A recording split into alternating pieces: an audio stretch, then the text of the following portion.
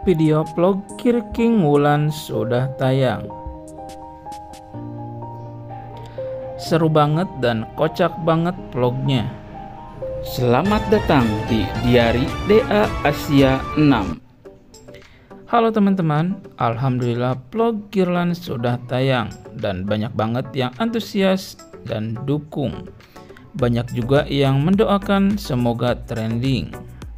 Ini adalah beberapa komentar penonton ketika vlog Kirlan perdana tayang. Dan ini live chat di video vlog Kirlan. Semangat, semangat.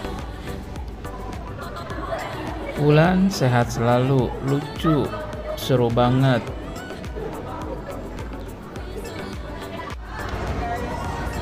Ya, banyak yang terhibur dengan vlog Kirlan dan penontonnya mencapai 869 orang.